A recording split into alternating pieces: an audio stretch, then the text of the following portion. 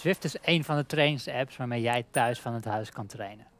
Je kan fietsen, zoals je ziet. Je kan ook hardlopen op Zwift. Triatleten gebruiken het, beginnende fietsers gebruiken het, semi-ervaren wedstrijdrenners zoals ik zelf.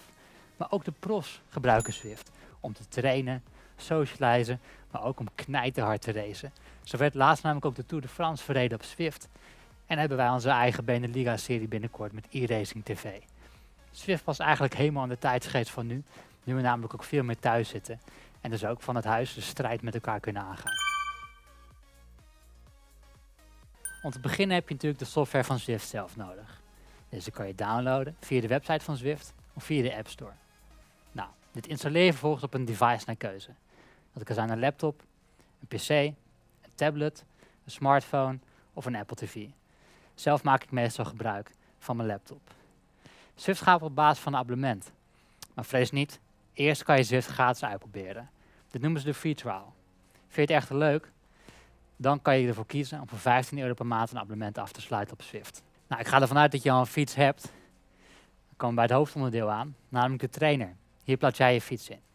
En deze trainers die kunnen opsplitsen in grofweg twee hoofdcategorieën. Eén, de meer oldschool variant, waar jouw achterwiel nog in de trainer gaat. En twee, waar ik zelf op fiets, de Direct Drive trainer.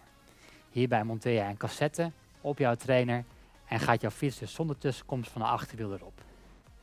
Nou, naast het vermogen wat die trainer leest, heb je nog meer sensoren die je kan koppelen aan Zwift. Denk je bij bijvoorbeeld aan een hartslagmeter of een cadansmeter. Nou, hoe koppel je nou uiteindelijk die sensoren aan Zwift? Dat kan via Bluetooth, ingebouwd op bijvoorbeeld je laptop, of via ANT signaal. Het signaal waar ook jouw fietscomputer bijvoorbeeld mee communiceert. Nou, wat is nog meer heel essentieel tijdens Swift? Dat je goed koelt. Dus gebruik altijd een ventilator en zorg dat je twee volle bidonnen in je fiets hebt staan. Een handdoek is ook zeer essentieel. Nou ja, over essentie gesproken, persoonlijk kan ik al wat motivatie gebruiken als ik aan het Swiften ben. Dus ik pak altijd muziek bij de hand. Nou, we bevinden ons inmiddels in het hoofdmenu van Zwift. Hier kan je via ANT of Bluetooth signaal, wat je linksbovenin kan selecteren, je sensoren gaan koppelen aan het programma Zwift. Nou, we beginnen hier met de power source. Dat doe je simpelweg door te klikken op search. Nou, in dit geval gebruiken we een Elite Reto en door op OK te klikken koppelen we hier gelijk de power source, maar ook de cadencmeter en de controllable trainer aan Zwift. Dat komt omdat wij gebruik maken van een smart trainer. Nou, de cadans die meet het aantal omwentelingen wat je maakt per minuut. En controllable, dat wil zeggen dat jouw trainer communiceert met Swift om zo de hellingsgraad van een parcours te gaan vertalen naar de trainer in weerstand. Nou, tot slot koppelen we hier nog een hartslagsensor aan Swift. Ook daarvoor klik je weer op Search en vinden we automatisch mijn hartslagsensor die verbonden is via Bluetooth. Vervolgens is het heel erg belangrijk dat je voor elke rit je trainer kalibreert of je powermeter. Nou, dit kan je doen door bijvoorbeeld uh, de guideline te volgen van je powermeter of de software van jouw uh, trainer, zoals Tax, Elite of Wahoo. Maar dat kan ook via Zwift zelf. Wij hebben alvast 10 minuten warming-up gedaan en we klikken dan op het volgende icoontje. Nou, dan komen we in het uh, Perform a Calibration Spin-Down menu. En er staat dus inderdaad dat je eerst 10 minuten moet gaan rijden voordat je dit kan uitvoeren. Klik je op Next. En dan ga ik accelereren nu naar boven de 37 km per uur. En vervolgens is de trainer goed gekalibreerd. Nou, dat is belangrijk omdat dan de vermogens exact overeenkomen met wat ik daadwerkelijk trap. Nou, dan zijn we nu klaar om door te gaan naar de volgende stap door weer te klikken op OK. En dan komen we in het laatste menu wat ons gaat leiden naar het rijden in Zwift. Bovenaan zie je de wereld die je kan kiezen die op dat moment online staan. Nou, op dit moment kunnen we dus kiezen uit Watopia, Richmond en Londen. In deze wereld zitten vervolgens weer verschillende routes. Nou, we houden even op Surprise Me, zodat we uiteindelijk ook even verrast worden wat we gaan doen. Dan kan je kiezen voor Just Ride of een trainingsschema, maar daar komen we later op terug. Daaronder staan de sensoren die we net hebben gekoppeld en andere Zwifters die op dit moment actief zijn op Zwift. Nou, om het af te sluiten zien we rechtsbovenin nog events die er aankomen. Daar gaan we straks ook verder over praten. En het schema met de werelden die op welke dag online zijn in Zwift. Nou, zijn we nu klaar om te gaan rijden en dat doen we door te klikken op de ride button. Nou, daar zijn we dan in de wereld van Zwift. Maar voordat we echt gaan rondracen, wil ik natuurlijk mijn avatar personaliseren. Nou, dat kan jij ook doen. Dan ga je links onderin en dan verschijnt de button met menu. Nou, hier klik je op en in dat menu ga je vervolgens naar Garage. Nou, bij Garage kan je tal van dingen aanpassen. Daar staat ook Me bij en dan personaliseer je dus je eigen avatar. Ik kies hier vandaag even voor een andere hairstijl. Nou, we doen een beetje funky. Ehm, lekker kleurtje erbij misschien ook. En weet je wat, laten we daar even een snorretje op plakken. Kijk, staat goed zo. Nou, kiezen we ook nog even voor een ander shirtje. Scroll ik even door het minuutje heen. En dan zie ik hier eigenlijk een nieuw model. Nou, pak ik deze. Dan wil ik natuurlijk als een echte wielrenner die ik ben, een paar bijpassende sokjes bij.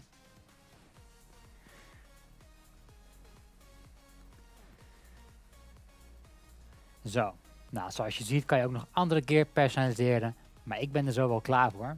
Vervolgens klik dus op close en back en ben ik klaar om meters te maken. Zo, zijn we eindelijk onderweg in Zwift. Nou, zoals je ziet ben ik aan het rijden in de virtuele wereld. Nou, met een hoop uh, andere mensen ook. Ik word hier namelijk nu voorbij gestoken door twee gasten. Eerst ga ik je even door de display heen praten.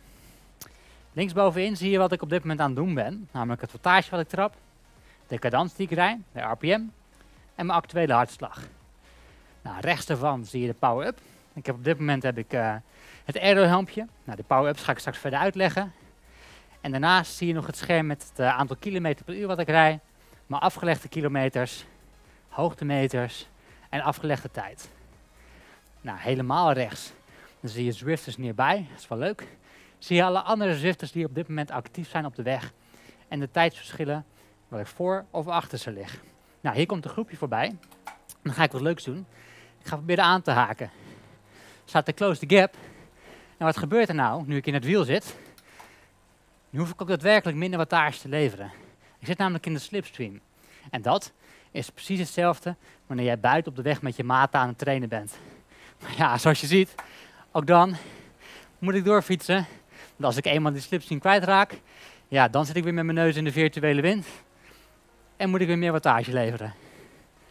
Oh ja, over wattage leveren gesproken. Ben jij nou echt van het sprinten? Of ben jij een klimmer? Of klassementsman? Op Swift kan je ook leiderstrui verdienen. Eigenlijk net als in de Tour de France. Je hebt namelijk de bolletrui. Voor degene die het klimsegment als snelste aflegt. Of de groene trui. Voor de snelste sprinter heb jij op dit moment de hoogste snelheid op het rondje staan waarop je rijdt, dan verdien je de oranje trui. Dat is eigenlijk de gele trui van Zwift. Nou, wil je genieten van die trui, kan je niet zomaar uitloggen. Nee, nee. Op het moment dat je weggaat, dan verlies je namelijk de trui weer. Dus heb je zo'n leiderstrui in bezit, blijf dan zeker nog even actief. Nou, hier zien we zo'n sprint. Ga eens even kijken wat in de tank zit.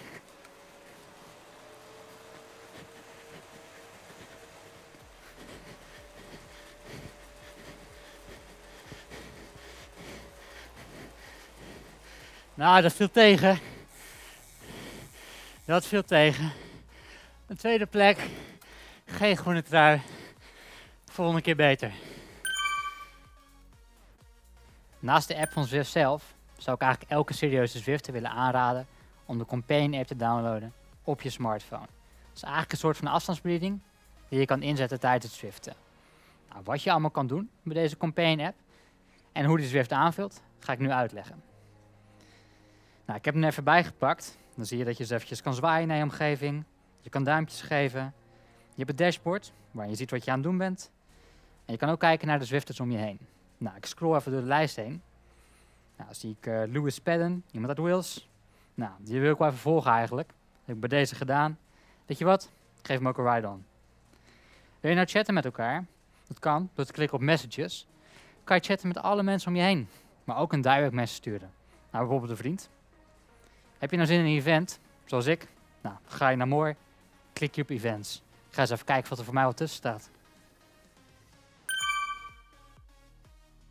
De events is waarschijnlijk de populairste functie die Zwift op dit moment heeft.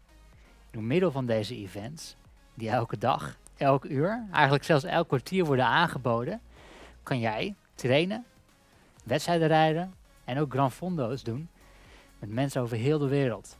Denk hierbij aan uh, nou, atleten uit Mexico, je vrienden, maar ook hele profteams. Zo kan je vaak rijden met de pro's, omdat ze hun eigen trainingen dan uitvoeren. Je kan je ook inschrijven voor die events. En dat doe je via bijvoorbeeld het menu wat je ziet rechtsbovenaan. Via de Companion app, zoals eerder genoemd. Of via de website van Zwift. Rechtsboven in beeld zie je de verschillende events die er op dit moment zijn. Nou, bij die events zie je de verschillende categorieën en de kleuren. Ik ben zelf categorie A op basis van mijn FTP-test. En ga ik even scrollen naar een event wat past bij mijn categorie. Nou, dan zien we hier een race. Categorie A klik ik aan. En right. Dan gaan we eens even lekker meedoen met de mannen. Nou, we zijn aangemeld voor de race nu. Dat zie je ook, want links onderin het beeld staat het Join Event. Nou, ik heb nog maar twee, uh, twee minuten ruim. Dus ik ga snel naar de wereld toe waar deze race is. Dat is namelijk in Watopia. Nou, dat geeft ons mooie tijd tijdens die transfer om eventjes te praten over uh, wat zo'n race nou eigenlijk zo specifiek maakt. Swift races ten opzichte van wegraces zijn heel erg explosief. Nou, je ziet dat ik hier uh, aan de start sta nu ondertussen met uh, 26 andere aanrijders. Ik heb nog 1 minuut 47 te gaan voor de start. En de warming-up is super belangrijk. Dus ik trap ondertussen even door. Ja, zoals ik eerder al zei, ik zit dus in de A-categorie. Nou, hoe kan je nou meten in welke categorie je zit? Je kan een FTP-test doen en die staat in de workout-lijst van Zwift. FTP, Functional Threshold Power, staat voor het vermogen wat jij ongeveer een uur kan vasthouden. Nou, dat samen met je gewicht is bepalend voor de categorie waarin je rijdt. Dan zijn er nog de settings die je kan invoeren tijdens een race. Denk hierbij bijvoorbeeld aan de trainer settings, die staan in het menu. En die trainer settings die bepalen uiteindelijk hoe erg de hellingsgraad in de race door wordt gecommuniceerd naar jouw trainer. Soms is het natuurlijk wel vet als je een heel erg zwaar parcours hebt om die hellingsgraad ook super erg te laten doorwegen. Dan zet je de trainer difficulty hoog. Maar in een race wil je hem liever wat lager, zodat die inspanningen net iets minder heftig worden. Nou, in het menu van de race zie je ook al de chat lopen ondertussen. In die chat kan je met elkaar communiceren. Dat doe je via het toetsenbord of via de Companion app. Nou, een half minuutje te gaan nog maar. Dat betekent dat het straks flink sprinten wordt. Ik schakel me vast naar het buitenblad. Ja, dit is dus die startgrid. En zoals je ziet sta ik ongeveer in het midden van die startgrid qua aantal mensen. Wil je nou helemaal vooraan staan, dan moet je je op tijd aanmelden. En aanmelden voor een event kan vanaf 30 minuten voor aanvang van het event zelf. Nou, we zitten in de laatste 5 seconden. Ik zei het al, Swift start is explosief. Ik schakel vast op. En we zijn vertrokken.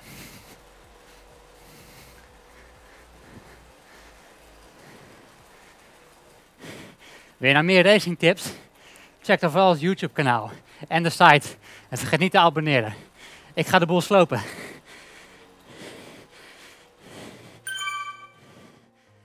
Het is misschien niet de allerleukste manier, maar wel de beste manier om sneller en fitter te worden. Door middel van het volgen van een trainingsplan met gestructureerde workouts, of misschien het volgen van een serie losse workouts op Zwift, kan jij zorgen dat je nog sneller wordt. Nou, die workouts in Zwift, die vind je bij Ride Type en dan klik je op training. Zit je al in de rit, dan kan je ook snel komen door op E te klikken. Dan kom je naar het snelkoppelingsmenu. Nou, in dat menu zie je het volgende. Links vind je een waslijst aan losse workouts. Dan kan je hier denken aan workouts die gericht zijn op het verbeteren van je FTP, het verbeteren van je sprintvermogen misschien, maar ook het trainen van lange afstanden. Wil je echt een maximaal resultaat? Dan kies je een trainingsplan die je van A tot Z afwerkt. Deze vind je bovenin door te klikken op Plans. Hierin zie je bijvoorbeeld Active Off-Season. Nou, dat is nog niet voor mij. Ik uh, ben namelijk een Quid Crusher. Ik wil nog wel een paar criteriums hard rijden. En dan kijk ik even naar het plan wat ik ga volgen. Nou, dan zie ik staan dat er hier acht weken staat.